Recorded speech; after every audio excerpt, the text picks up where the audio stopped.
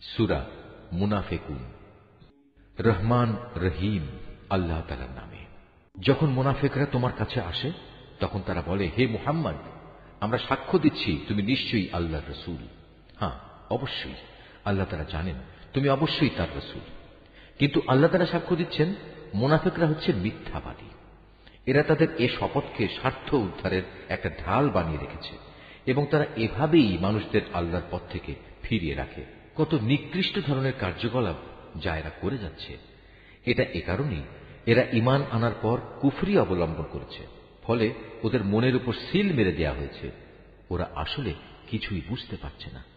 তুমি যখন তাদের দিকে তাকাবে, তখন তাদের বাইরের দেহাবয়ব তোমাকে খুশি করে দেবে। আবার যখন তারা তোমার সাথে কথা বলবে, তখন তুমি আগ্রহ ভরে তাদের কথা শুনবেও। কিন্তু তারা ও তাদের সেই দেহের উদাহরণ হচ্ছে যেমন দেয়ালে ঠেকানো কতিপয় নিষ্প্রাণ কাঠের টুকরো। শুধু তাই নয়, তারা এত ভীত সন্ত্রস্ত থাকে যে প্রতিটি বড় আওয়াজকেই তারা মনে করে তাদের উপর বুঝি এটা বড় বিপদ। এরাই হচ্ছে তোমাদের আসল দুশ্মন। এদের থেকে তোমরা হুঁশিয়ার থেকো। আল্লাহর মার তো তাদের জন্যেই। কোথায় কোথায় এদিক সেদিক এরা বিভ্রান্ত হয়ে ঘুরছে, এদের যখন বলা হয়, তোমরা আসো আল্লাহ রসুলের কাছে তাহলে আল্লাহ রসুল তোমাদের জন্য আল্লাহর কাছে ক্ষমা প্রার্থনা করবেন। তখন এরা অবজ্ঞা ভরে মাথা ঘুরিয়ে নেয় এবং তুমি এও দেখতে পাবে তারা অহংকারের সাথে তোমাকে এড়িয়ে চলে। আসলে তুমি এদের জন্য ক্ষমা প্রার্থনা করো কিংবা না করো, এ দুটোই তাদের জন্য সমান।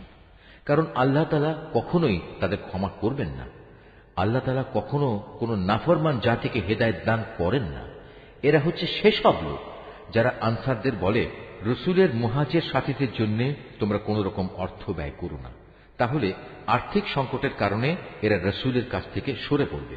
অথচ এরা জানে না আসমান সমূহ ও জমিনের সমুদায় ধনভাণ্ডার তো আল্লাহ তালারই কিন্তু মুনাফেকরা কিছুই বুঝতে পারে না।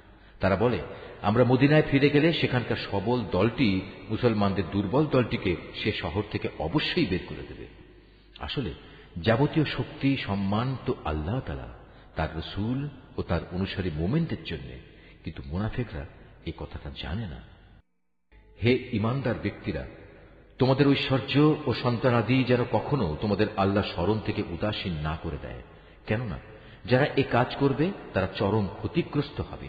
আমি তোমাদের যা কিছু অর্থ সম্পদ দিয়েছি, তা থেকে তোমরা আল্লাহর পথে ব্যয় করো। তোমাদের কারও মৃত্যু আসার আগেই। কেননা, সামনে মৃত্যু এসে দাঁড়ালে সে বলবে, হে আমার মালিক তুমি যদি আমাকে আরও কিছু কালের অবকাশ দিতে, তাহলে আমি তোমার পথে দান করতাম এবং এভাবেই আমি তোমার নেক বান্দাদের দলে সামিল হয়ে যেতাম। কিন্তু কারও আল্লাহ নির্ধারিত সময় যখন এসে যাবে, তখন আল্লাহ তালা আর তাকে এক মুহূর্ত অবকাশ দেবেন না। তোমরা দুনিয়ার জীবনে যা কিছু করছ, আল্লাহ তালা সে সম্পর্কে পুরোপুরি অবহিত রয়েছেন।